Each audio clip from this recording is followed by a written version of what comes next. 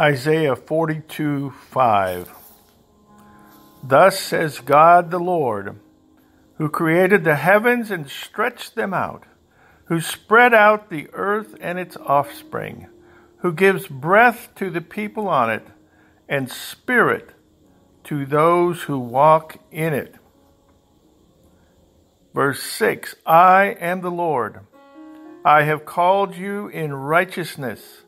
I will also hold you by your right hand and watch over you.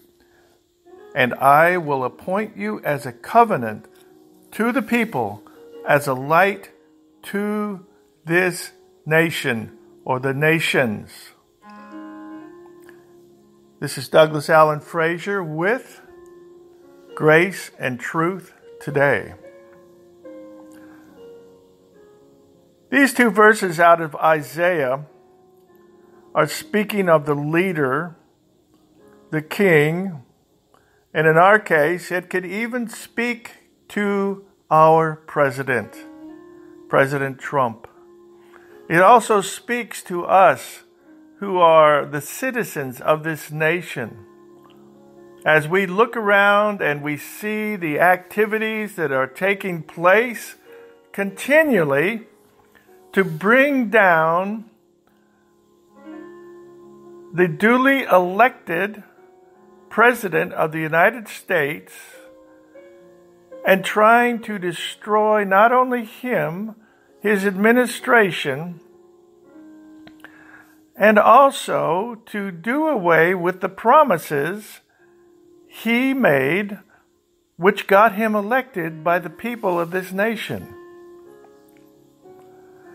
In verse 1 of Isaiah 42, it says, Behold, my servant, God's servant, whom I uphold, my chosen one, in whom my soul delights, I have put my spirit upon him.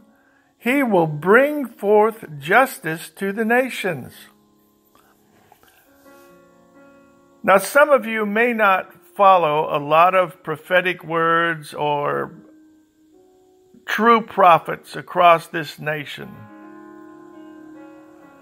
But one of the truly great prophets who has spoken over this nation was Kim Clement. He passed away in 2016. But in 2014, in December of 2014 and February of 2014, he gave strong prophetic words that indicated there was a man that would come out of the people of this nation who would become the next president of the United States and who would have a great connection that no other political leaders of this nation have had in the past with Israel and his support for Israel. It also, in his words, indicated that a woman that was known for her charity would not enter the White House. But there would be a man and a woman in the White House. Again, I say a man and a woman in the White House who would give honor and reverence to God Almighty. I'll put it this way look at the honor that both President Trump and the First Lady, Melania, have given to God since their placement in the White House. I have never heard a First Lady ever lead a large congregation of people who came together to see President Trump speak in Florida pray. And yet, Melania Trump in halting English, prayed the Lord's Prayer over that gathering and over this nation. Now, I understand from people that are in and out of the White House know that the coming together for prayer and asking for God's wisdom is almost a daily occurrence. Look at, I'll just say, the flack from various groups and the media over the Christian witness and testimonies of Vice President Pence and his wife as they share their love of God and their desire to see God bless this nation. God has blessed us with the leadership we need in this nation to change it, to bring about fresh life into this nation. And yet, on the other side, as we witness, as we witness this battle that is going on for a security fence, wall, barrier, whatever you want to call it, that has been called for not by President Trump himself, but has been called for as a necessary requirement for those who work along the border who have sworn and taken an oath to protect this nation from intrusion, meaning our border uh, security elements along the border, uh, ICE, uh, Border Patrol, Homeland Security. I'm not going to go into all the details, but that is their requirement. President Trump listened to it from that standpoint of what they say they need to protect this nation. He listened to the inputs of citizens of this nation, especially those that live along the border areas or those that have seen loved ones killed by illegal immigrants, by those that are known criminal elements of MS 13 gangs and others. And it's not just, I'll say, within the white community, it's within the Hispanic community that these people have come in and brought havoc, who have brought death and fear. And yet we have an opposition party, the Democrats, and I'm going to call them exactly what they are the party of death. The party of death. Now, why do I say that? They are now the party of death.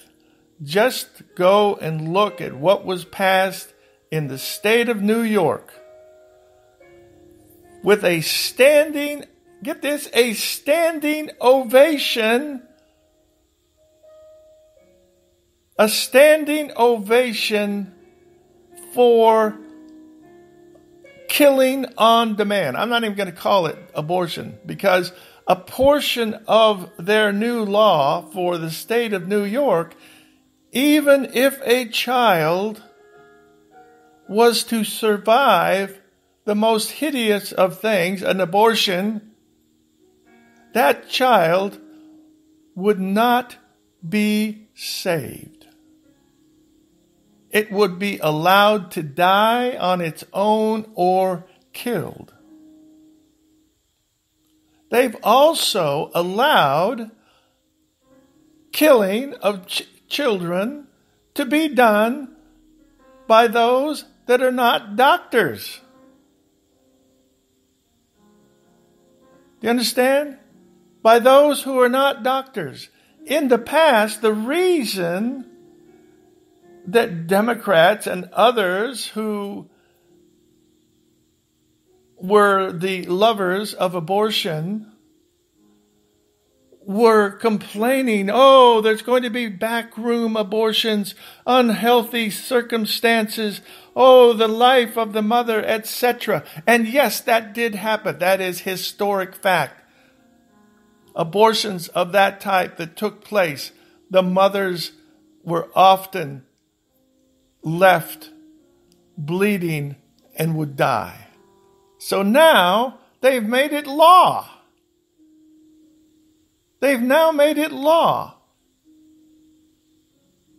And I just read this morning that the state of Vermont, you know, Bernie's state,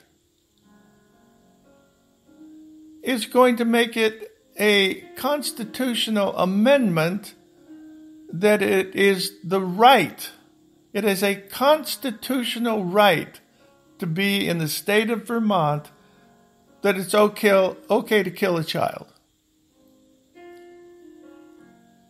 As was also written, in the state of New York, they don't have a death penalty for criminals, but they'll kill a child with no consequences.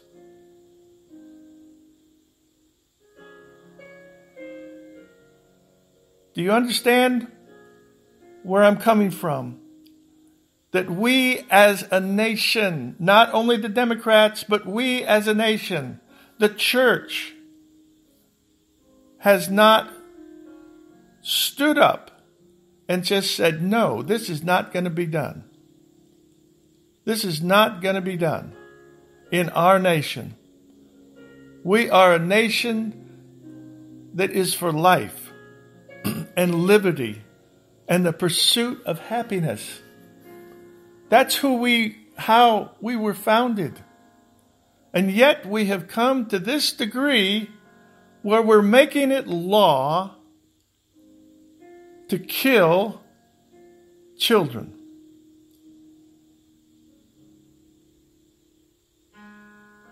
We have a president who is for life and liberty and the pursuit of happiness. And I say, even the pursuit of happiness, law and life and pursuit of happiness, even for aliens or immigrants, if they come to this nation where that was at one time our foundation, if they will come legally. We have seen, he has seen all of our political people have seen the results of open borders in Europe that has taken place for years. In France, they have places you can't go if you are a non Muslim. Sweden has some of the same places. England has some of the same places. And yet, we find here in America that we've seen a couple of Muslim women who are now Congress women who have said most vile things against President Trump, also against Vice President Pence, based upon their religion based upon their thought patterns of what they would like to see take place in this nation. They did not swear upon the Bible. They swore upon the Quran when they were brought into office. The Quran is in total opposition to the United States and what we stand for as a nation, what we have built, the foundation of our religious heritage, in total opposition. They didn't swear upon the protection of the Constitution, even. do you understand that also gaining political gain in a nation step by step is their plan that was established by the Muslim Brotherhood. All you have to do is look at Europe and what has happened. And that's exactly what they want to take place here in America. Now, I want you to think about this. I am going to read some more in Isaiah 42, and I want you to understand my introduction was a little bit long, but here is where we are.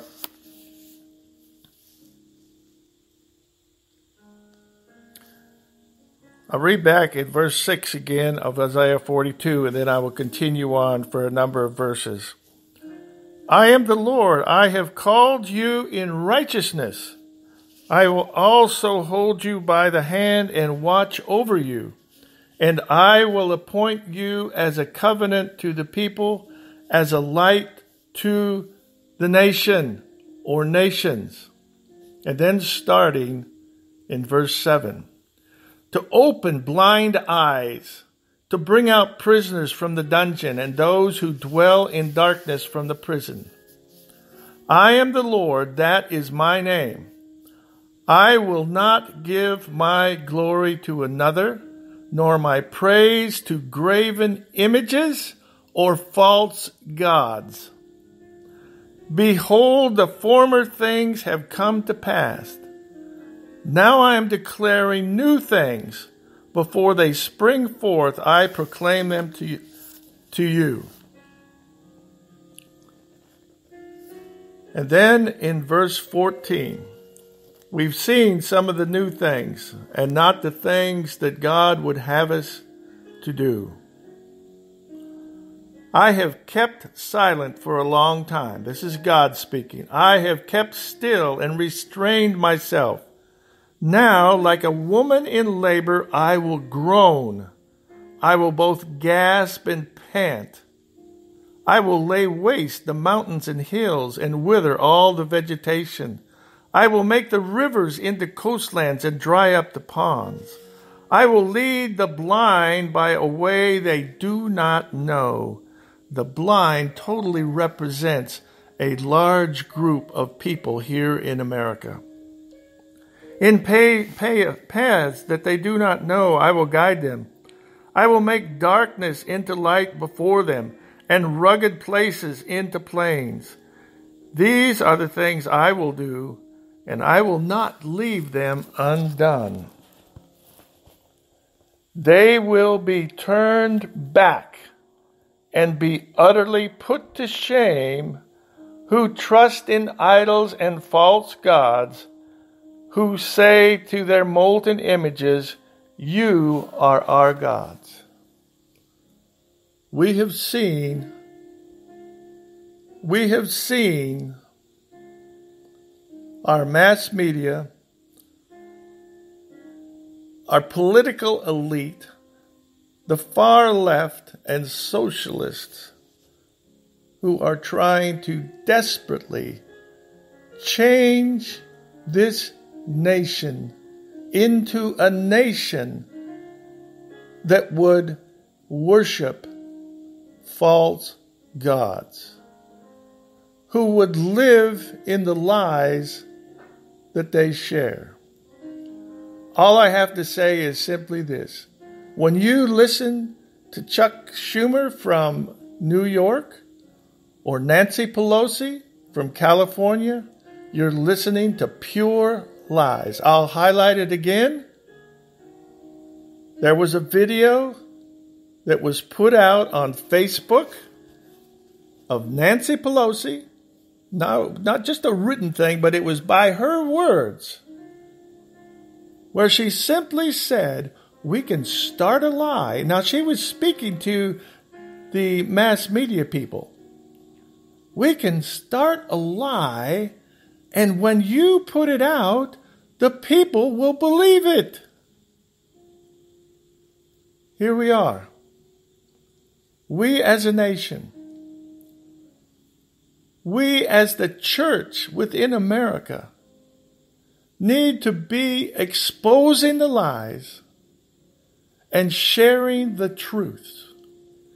The true truth of our nation's needs and the true truth of God's Word and how it applies to individuals, how it applies to the church, how it applies to this nation if we are to receive the blessings of God.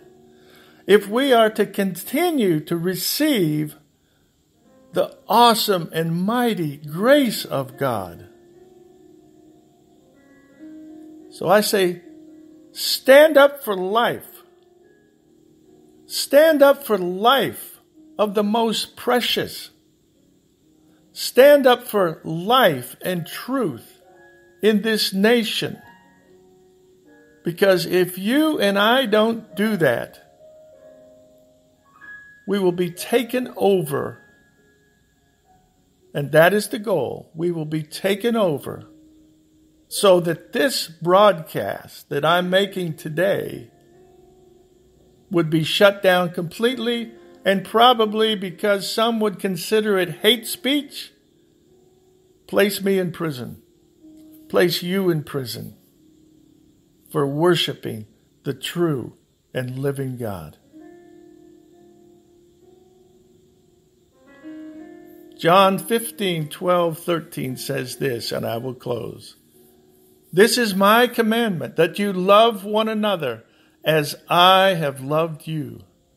Greater love has no one than this, that he lay down one's life for his friends. Our greatest friend is Jesus Christ.